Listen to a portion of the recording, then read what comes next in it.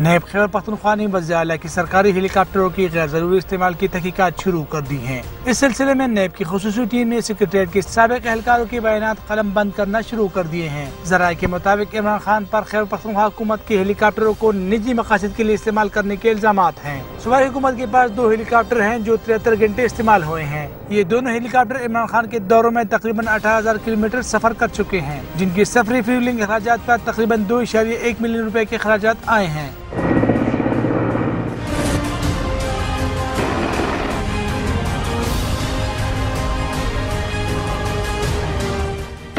ذرائع کے مطابق عمران خان نے ان ہیلی کاپٹروں کو چالیس مختلف دوروں کے لیے استعمال کیا۔ ایک ٹرپ کا خرچہ تقریباً انتیس ہزار روپے آیا۔